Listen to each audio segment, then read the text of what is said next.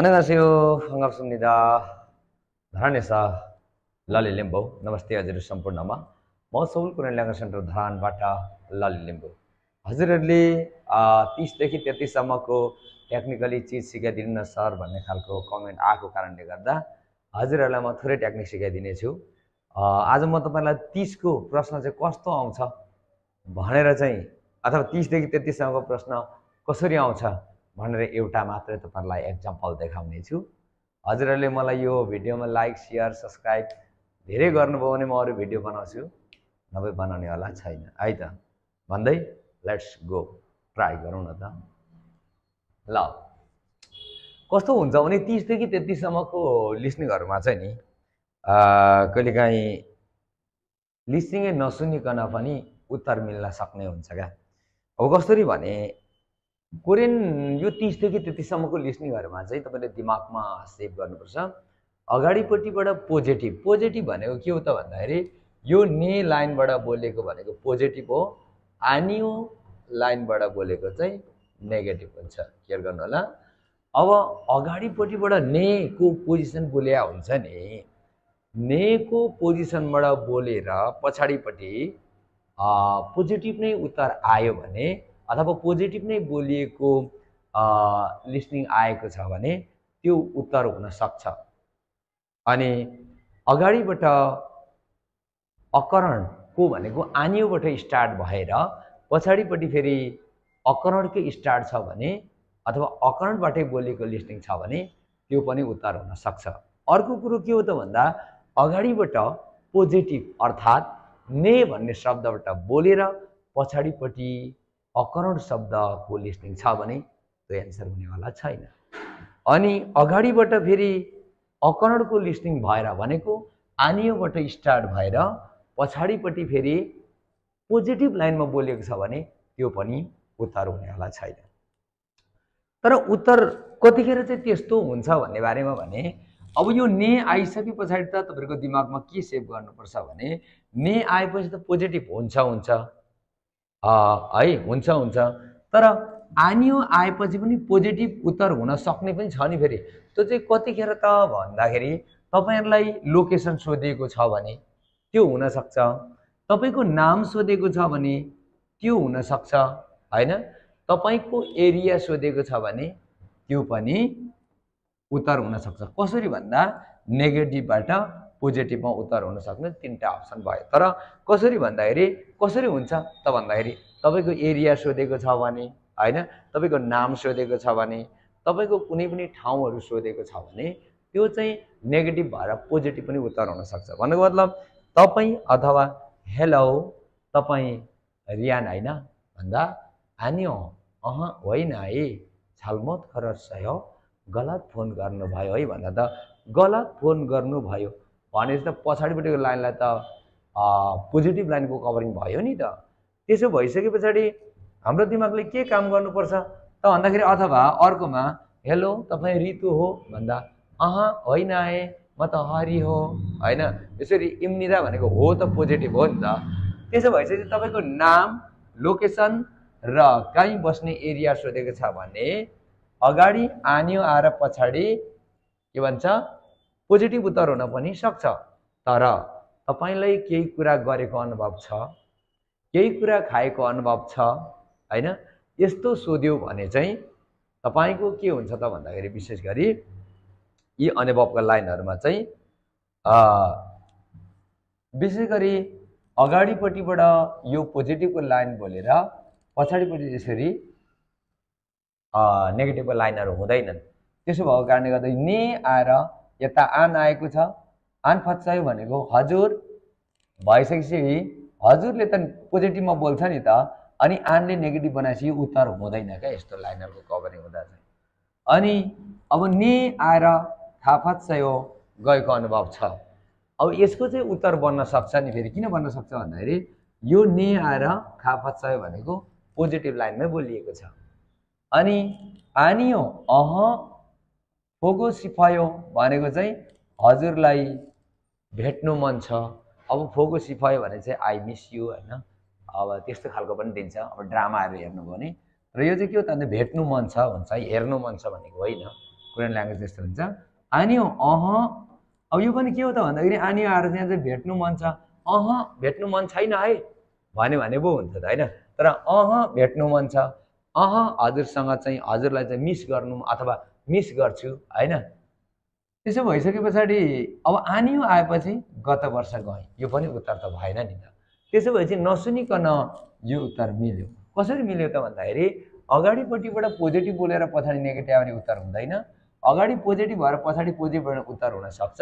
अगाडि नेगेटिभ भएर पछाडि पोजिटिभ भयो भने उत्तर हुन सक्दैन अगाडि नेगेटिभ भएर पछाडि पोजिटिभ भयो भने उत्तर हुन सक्दैन तर त्यसो भन्दा अलिकति हजुरलाई अप्ठ्यारो लाग्यो भने अर्को सहज तरिकाले चाहिँ कसरी गर्न सकिन्छ त यसको हल भन्दा अझै इजी तरिकाले चाहिँ तपाईँलाई लिसनिङ बजेको हुन्छ त्यो प्रश्न तपाईँलाई नै सोधेको हो भनेर जान्नु पर्दछ एक नम्बरमा त्यो तपाईँलाई सेभ गर्नुभयो भने त्यो उत्तर हन्ड्रेड पर्सेन्ट आफू त्यसको अपोजिट भएर उत्तर दिएको बुझ्ने क्या जब जब लिस्ने त चारवटा बोल्छ नि त उसले चारवटा बोले पनि अपोजिट भएर उत्तर दिनु पऱ्यो क्या? जस्तै अब यसलाई हेरौँ मानिलिउँ। यसको नसुनिकन उत्तर हामीले दुई छानेको छौँ है।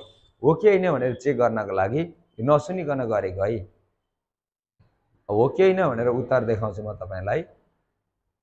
हो। हामी कतिमा थियौँ भने? अब यहाँ छ नि त के हो त भन्दाखेरि तिनको तिन नम्बरको दुई देखाएको छ नि त यो त हामीले नसुनी गऱ्यौँ। किन नसुनी गऱ्यौँ भन्दाखेरि अगाडि नेगेटिभ सरी ने भएर पछाडिपट्टि अब यो अगाडिपट्टि पोजिटिभ बोल्ने भएर पछाडि नेगेटिभ आउने उत्तर हुँदैन भनेको थियो नि त। अनि दुई नम्बरमा चाहिँ के थियो त भन्दा ने आएर फेरि पोजिटिभ लाइन नै बोलेको थियो। अनि अर्को चाहिँ तिन नम्बरमा फेरि आनियो आएर फेरि यता पछाडि चाहिँ पोजिटिभ लाइन बोलेको थियो। चार नम्बरमा पनि आनियो आएर अनि फेरि पछाडि पोजिटिभ लाइन बोलेको थियो र दुई नम्बरको उत्तर हामीले त्यतिकै नसुनिकन छानेका थियौँ। त त्यसो गर्दा अप्ठ्यारो भयो भने तिसदेखि तेत्तिसम्मको है अब लिस्निङै बजाउँ न त होइन? अब यहाँ लिस्निङ छ। अब हामीले के जान्नु त भन्दा लिस्निङको बारेमा? अटक्कै गयौँ है त होइन?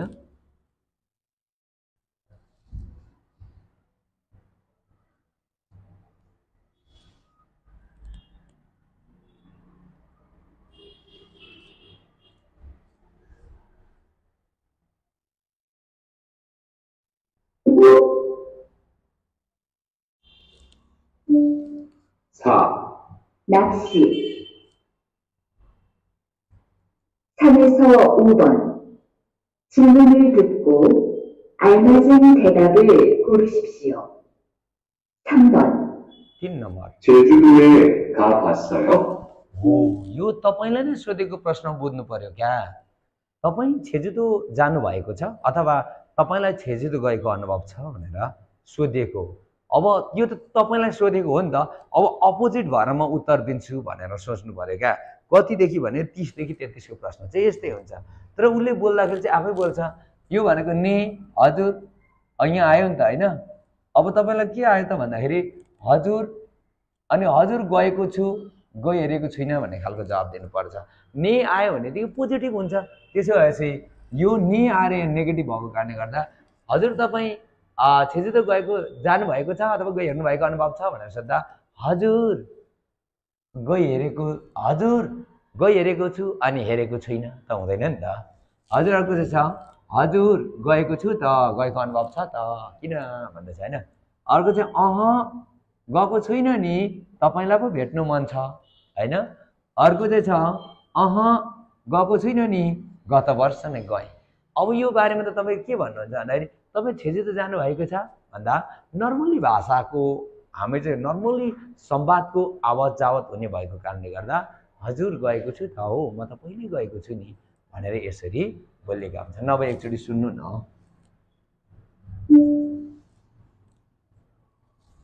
질문을 듣고 알맞은 대답을 고르십시오. 3번 제주도에 가봤어요? 어. 제주도 गइ हेर्नु भएको छ हजुर गइ हेरेको छु त भनेर यसरी उत्तर आउँछ ने आएपछि नेगेटिभ पोजिसन हुँदैन ने आएपछि पोजिटिभ नै हुनुपर्छ आनी आएपछि नेगेटिभको पोजिसन आएपछि यहाँ पोजिटिभ लाइन बोल्दैन नेगेटिभको लाइनले पोजिटिभ लाइन बोल्दैन यो चाहिँ गरेका अनुभवका लाइनहरू हुन् तर यदि तपाईँलाई लोकेसन सोधेको भए चाहिँ फेरि नहुन सक्थ्यो नि यहाँ के हुन्थ्यो भने तपाईँ धरानबाट हो भन्दा अह होइन है गलत फोन गर्नुभयो। यसो भएको भए त फेरि उत्तर अर्कोतिर जान्थ्यो। फर्स्ट नम्बर चाहिँ यो जान्नको लागि चाहिँ लिसनिङ बुझ्नुपर्छ है। भन्दै म तपाईँहरूलाई अर्कोतिर पनि टेक्निकली दिनेछु। लाइक सेयर अब अर्को प्रश्न चाहिँ कस्तो भन्दाखेरि नि अघि हामीले नेगेटिभ र पोजिटिभको लाइन मात्रै क्लियर गरियो। तर पोजिटिभ नै पोजिटिभ पनि आउन सक्छ कहिलेकाहीँ कहिलेकाहीँ नेगेटिभै नेगेटिभको लाइन अगाडिबाट स्टार्ट हुनसक्छ होइन यहाँनिर अगाडिबाट नेबाट स्टार्ट हुनसक्छ यहाँ पनि अगाडि नेबाट स्टार्ट हुनसक्छ यहाँ पनि अगाडि नेबाट स्टार्ट हुनसक्छ यहाँ पनि अगाडि ने स्टार्ट हुनसक्छ यस्तो भएको खण्डमा चाहिँ के गर्नुपर्छ भने प्रश्न नै बुझ्न जरुरी छ है? प्रश्न बुझ्न जरुरी हुन्छ। यो त मैले लेखेँ तर पछि आयो भने आएको खण्डमा है त? त्यसो भइसकेपछि प्रश्न बुझिसकेपछि उत्तर त सहज तरिकाले छानिन्छ है? यहाँ हेर्नु होला अब। 4번. 설악산이 어땠어요? हो अब यो प्रश्न सोध्यो तपाईँलाई संरक्षण पहाड कस्तो लाग्यो तपाईँलाई अथवा कस्तो थियो भन्दा नि केही फरक पर्दैन कस्तो लाग्यो भन्दा नि केही फरक पर्दैन कोरियन भाषै त्यस्तो छ त्यसैले सबै चिजलाई समेट्ने गर्दछ त्यसैले तपाईँलाई संरक्षण पहाड कस्तो लाग्यो हौ भन्दाखेरि ए अब यहाँ आयो अँ गत वर्ष गएँ तपाईँलाई संरक्षण पहाड कस्तो लाग्यो भन्दाखेरि तपाईँले फर्काउने जवाब हो नि त अब ए गत वर्ष गएँ भन्नुहुन्छ कि? धेरै व्यस्त लाग्यो। भन्नुहुन्छ कि? अर्को छ अरे साँच्चै सुन्दर लाग्यो हौ।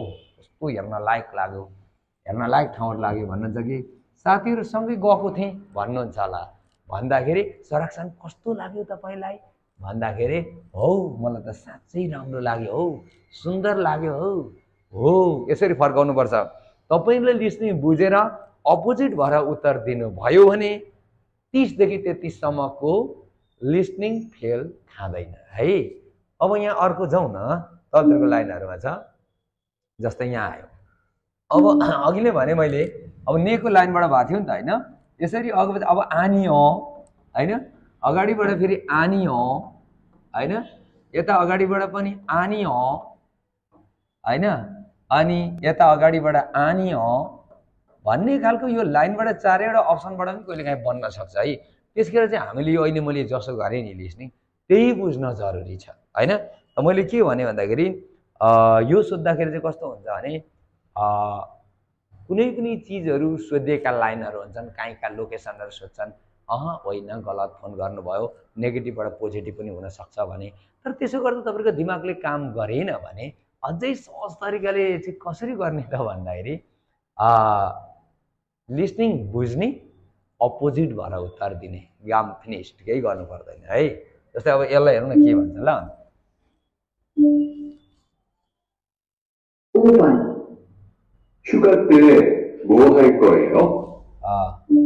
हिउँका ते हिउँका ते। अब यो हिउँगा भनेको चाहिँ के हो त भन्दाखेरि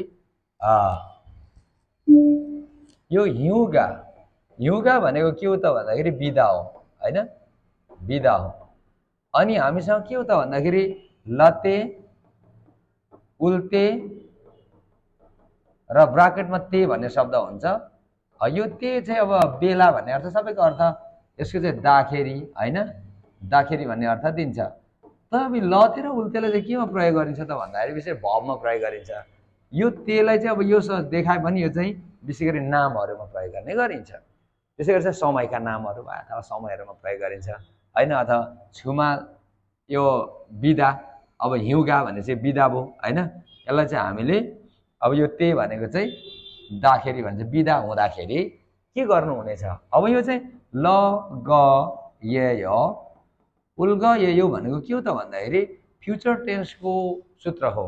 यसले चाहिँ के हुन्छ भने कुनै पनि भविष्यमा योजना बनाउँदाखेरि विशेष प्रयोग गरेर बोल्ने गरिन्छ। त्यसो भइसके पछाडि अब तपाईँलाई भनौँ हिउँगाते म हा बिदाको बेला हजुर के गर्नुहुनेछ नि भनेर तपाईँलाई सोधेको हो क्या त प्रश्न। तपाईँले चारवटा अप्सनबाट त भोलि त गरिहाल्ने छु नि भन्नुहुन्छ कि?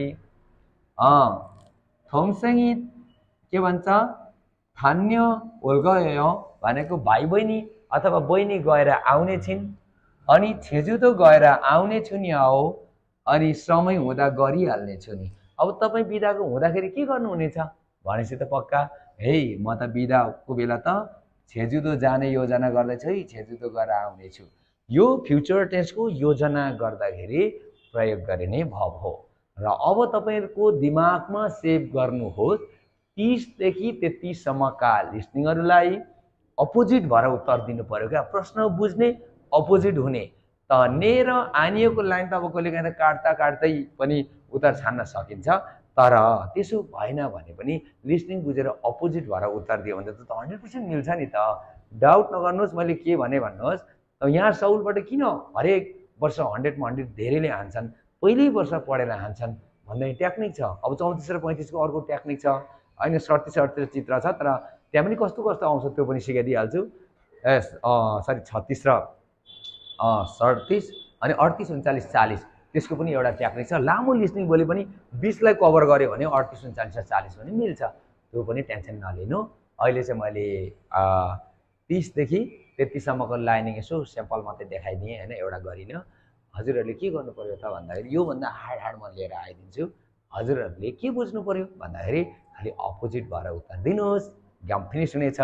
भन्दै बाबाई अर्कोमा भेटौँ लाइक सेयर र सब्सक्राइब भने नभुल्नु होला नि। है भविष्य